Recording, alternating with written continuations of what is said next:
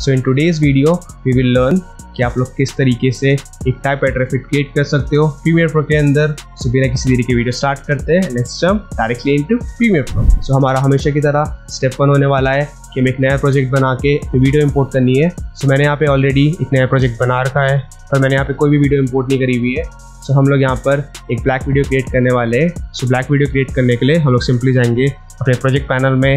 हम लोग यहाँ पर राइट क्लिक करेंगे फिर हम लोग जाएँगे न्यू आइटम में। न्यू आइटम के अंदर हम लोग देंगे ब्लैक वीडियो में।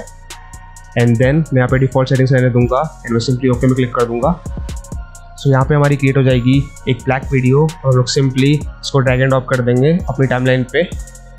एंड देन हमारा नेक्स्ट स्टेप होगा कि हम लोग एक न्यू टेक्स्ट लेयर क्रिएट करने वाले हैं। So new text layer create करने के लिए हम लोग सिंपली प्रेस करेंगे कंट्रोल प्लस टी सो इससे आपकी एक न्यू टेक्स्ट यहाँ पे क्रिएट हो जाएगी। एंड मैं यहाँ पे सिंपली अपना टेक्स्ट टाइप करने वाला हूँ। सो so, मैं यहाँ पे टाइप करने वाला हूँ अपना नेम एंड देन हमारा नेक्स्ट स्टेप होगा कि हम लोग अपने टेक्स्ट को यहाँ पे स्टाइलाइज करने वाले हैं।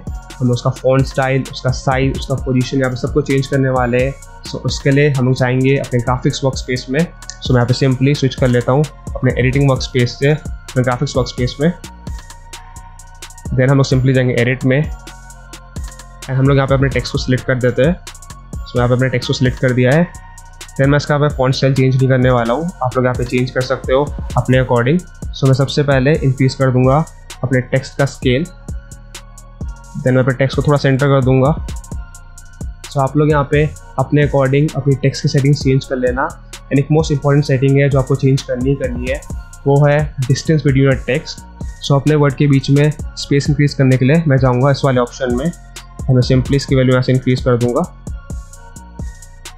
सो आप लोग यहाँ पे देख सकते हो कि मेरे वर्ड्स के बीच में यहाँ पे डिस्टेंस इंक्रीज हो गया है. इसको थोड़ा कम करने वाला हूँ। एंड देन मैं अगैन अपने टेक्स्ट में यहाँ पे सेंटर कर दूँगा यूजिंग दिस ऑप्शन सो मैंने यहाँ पे अपने टेक्स्ट को स्टाइलाइज कर लिया है। अब हमारा नेक्स्ट स्टेप होगा कि हम लोग अपने टेक्स्ट को सिलेक्ट करेंगे।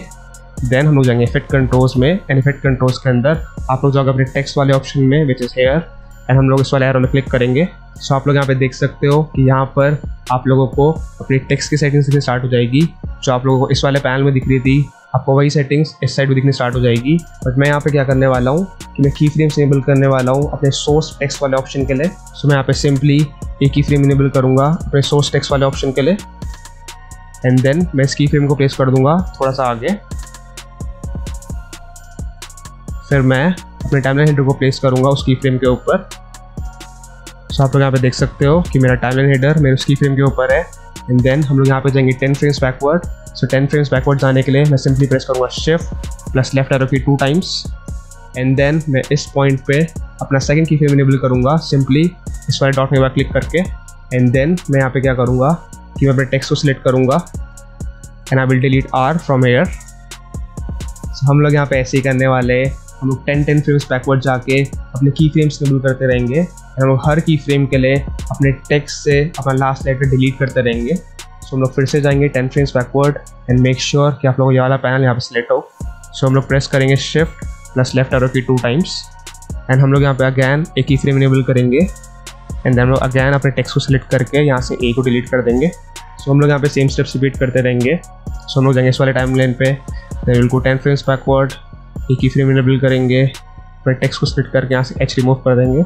सो बेसिकली आप लोगों को ये स्टेप्स तब तक रिपीट करते रहना है जब तक आपका टेक्स्ट पूरा डिलीट नहीं हो जाता एंड देन मैं यहाँ पे क्या करूँगा कि मैं आऊँगा अपने इफ़ेक्ट कंट्रोल्स वाले पैनल में। Panel press control plus A so इससे मेरे सारे की फ्रेम्स यहाँ पे सेलेक्ट हो जाएँगे। देन मैं सिंपली अपने की फ्रेम्स को ट्रैक करके इसको प्लेस कर दूँगा अपने टेक्स्ट लेयर के फ़र्स्ट फ्रेम में कुछ इस तरीके से। सो so आप लोग यहाँ पे देख सकते हो कि हमारा फ़र्स्ट की फ्रेम यहाँ पे स्टार्ट हो रहा है। हमारे टेक्स्ट लेयर के फ़र्स्ट फ्रेम से। एंड दैट सेट आप लोगों को आपका टाइप राइटर फिट मिल जाएगा।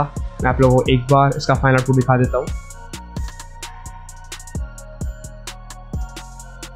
And then for the final touch आप लोग यहाँ पे एक साउंड इफ़ेक्ट भी ऐड कर सकते हो। आप लोगों को साउंड इफ़ेक्ट का लिंक डिस्क्रिप्शन बॉक्स में दे दूँगा।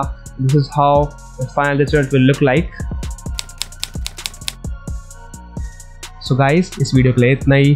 इन टेल मी कमेंट्स आप लोगों को वीडियो कैसा लगा? इफ़ यू टू लर्न कि आप लोग किस तरीके से एक टेक्स्ट रिवीलिंग इफ़ेक्ट क्रिएट कर सकते हो click right here in this video and if you to learn कि आप लोग किस तरीके से एक डॉलिज्म इफ़ेक्ट क्रिएट कर सकते हो click right here in this video and अगर आप लोगों को वीडियो अच्छी लगी है आपको इस वीडियो कुछ सीखने को मिला है don't forget to like this video and subscribe to this channel so till then take care bye see